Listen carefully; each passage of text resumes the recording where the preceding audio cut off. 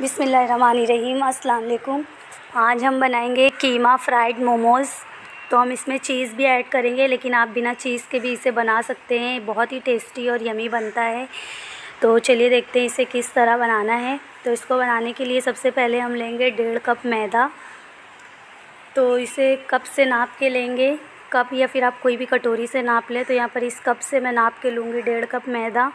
और फिर इसमें हम आधा टीस्पून नमक डालेंगे। तो यहाँ पे हमने इसको आटा लगाने के लिए किसी भी तेल या घी का इस्तेमाल नहीं होता है। बस इसे इसी तरह से मिक्स करेंगे और थोड़ा थोड़ा पानी डाल के इसका सॉफ्ट सा आटा लगा कर तैयार करेंगे। बहुत ज़्यादा सॉफ्ट भी नहीं लगाना है।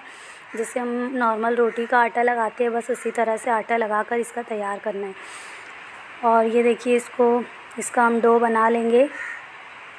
और जब इसका डो बन जाए, ये देखिए इस तरह से तो इस तरह से हम इसका डो बनाकर तैयार कर लेंगे और फिर जब इसका डो बन जाए तो हम इसे काउंटर पर निकाल लेंगे और इसको चार से पाँच मिनट तक गूनेंगे जब तक कि ये अच्छे से सॉफ़्ट नहीं हो जाता। तो काउंटर पे निकालेंगे तो ये बहुत जल्दी से हो जाता है तो इसके लिए मैं इसे काउंटर पे निकाल लूँगी और थोड़ा थोड़ा पानी लगा के हम इसे गूँधेंगे इसको बिल्कुल सॉफ़्ट करेंगे। कम से कम चार से पाँच मिनट तक इसे इस तरह से गूँधना है। और यहाँ पे देखिए चार से पाँच मिनट हो गए हैं, बहुत ही अच्छे से सॉफ़्ट हो गया है। अब इसे हम बॉल में रखेंगे और इसे कवर करके रख देंगे साइड में। और जब तक हम इसकी स्टफ़िंग बना लेंगे तो स्टफ़िंग बनाने के लिए प्रेशर कुकर में दो टीस्पून तेल डालेंगे। तेल बहुत ज़्यादा नहीं डालना है स्टफ़िंग में। और फिर यहाँ पर एक मीडियम साइज़ की प्याज डालेंगे और प्याज को पिंक होने तक फ्राई करेंगे। बहुत ज़्यादा डार्क कलर नहीं करेंगे प्याज का, बस पिंक हो जाए जब तक इसे कुक करेंगे। और हाई फ्लेम पे इसे भूनेंगे। ये देखिए इस तरह से जब ये हल्की सी पिंक होने लगे प्याज तो हम इसमें कीमा ऐड करेंगे। 250 ग्राम है मटन का कीमा तो आप यहाँ बीफ का कीमा या चिकन का कीमा भी ले सकते हैं।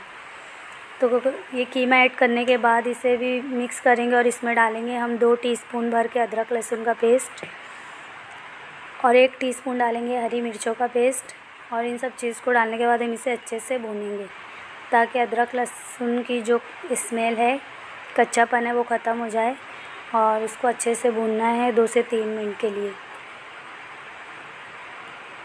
ये देखिए इस तरह से, फिर हम इसमें ऐड करेंगे नमक, एक टीस्पून नमक या फिर आप टेस्ट के अकॉर्डिंग नमक और मिर्च ऐड कर सकते हैं।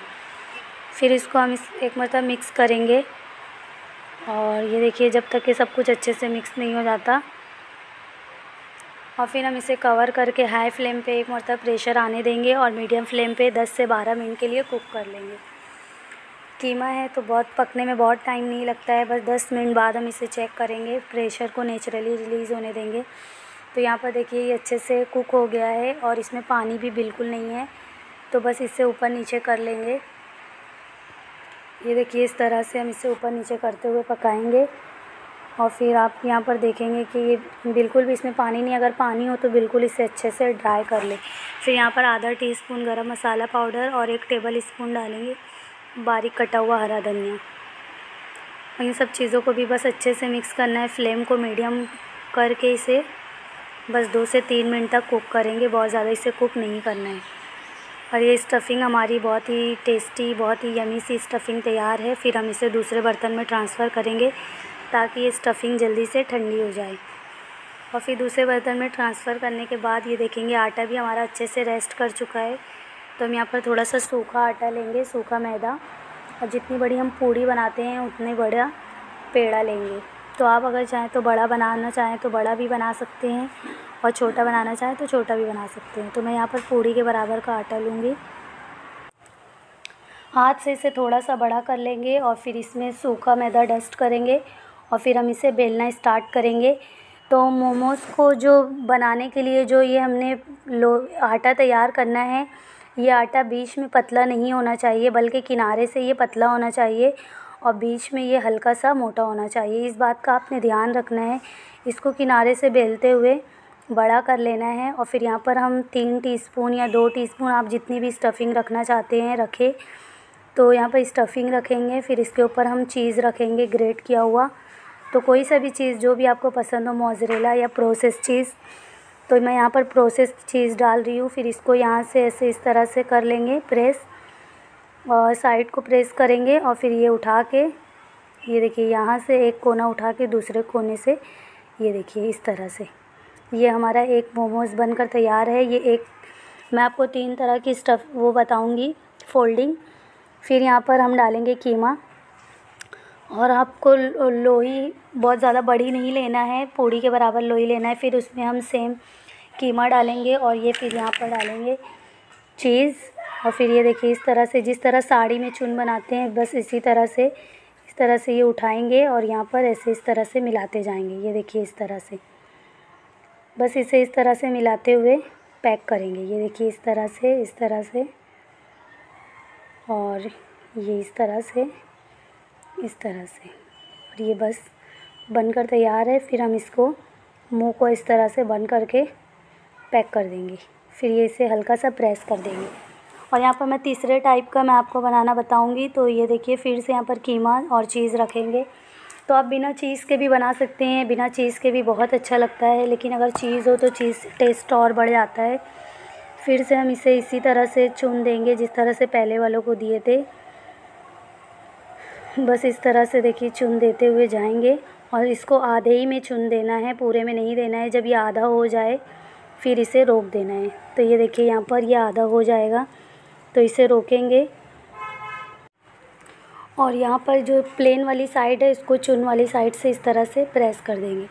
और ये तीसरे टाइप का हमारा मोमोज़ बनकर तैयार है। तो ये ज़बरदस्ती तीनों तरह की फ़ोल्डिंग हमारी बनकर तैयार है। इस तरह से हम सारे बनाकर तैयार कर लेंगे। आपको जो सा भी मेथड अच्छा लगे, उस मेथड से आप बनाएँ। फिर यहाँ पर हम तेल को गरम करेंगे। मीडियम आँच पर बहुत तेज़ गरम नहीं करना है। और फिर यहाँ पर मैं तीनों एक एक टाइप के मोमोज़ को फ्राई करके दिखाती हूँ आपको। फिर यहाँ पर ये दूसरा वाला है और यहाँ पर ये तीसरा वाला है। तो तीनों मोमोज़ को डाल देंगे और चार से पाँच मिनट तक मीडियम फ्लेम पे इसे पकने देंगे। और चार से पाँच मिनट बाद हम इसकी साइड को चेंज करेंगे। फिर हम इसकी साइड को चेंज कर कर के इसे पकाएँगे जब तक कि इसमें गोल्डन ब्राउन कलर नहीं आ जाता। लेकिन जिस, जो इसकी ये फोल्डिंग वाली साइड है, उसको थोड़ी देर तक पकाना है, क्योंकि वहाँ पर आटा थोड़ा ज़्यादा होता है तो उसको थोड़ा ज़्यादा देर तक आप कुक करें। और फिर देखिए, जब बहुत ही प्यारा सा गोल्डन कलर आ जाए, गोल्डन ब्राउन तो इस स्टेज तक अब इसे पका लेंगे। आपको जितना डार्क कलर इसका करना है, आप कर सकते हैं, बट ये बिल्कुल परफेक्ट है। तो इस तरह सारे मोमोज़ हम बनाकर फ्राई कर लेंगे। और इसे आप मोमोज़ की चटनी से या फिर सॉस या केचप से सर्व करें, या फिर ग्रीन चटनी से, सबसे बहुत टेस्टी लगता है। फिर ये देखिए, सारे मोमोज़ हम बन, बनाकर तैयार कर लिए हैं। तो उम्मीद करती हूँ कि मोमोज़ की ये रेसिपी आपको पसंद आई होगी। अगर रेसिपी अच्छी लगी हो तो प्लीज़ इसे लाइक कीजिए शेयर कीजिए। चैनल पर नए हों तो सब्सक्राइब करना ना भूलें और मुझे अपनी दुआओं में याद रखिए। मिलती हूँ एक और रेसिपी के साथ, जब तक कि अपना बहुत सा ख्याल रखिए। थैंक यू अल्लाह हाफिज़। ये देखिए कितना ज़्यादा ये क्रिस्पी हमारा मोमोज़ बनकर तैयार हुआ है। बहुत ही ज़्यादा यमी और टेस्टी बना है। तो ज़रूर से ट्राई कीजिए और अपना फ़ीडबैक ज़रूर दीजिए। थैंक यू अल्लाह हाफिज़।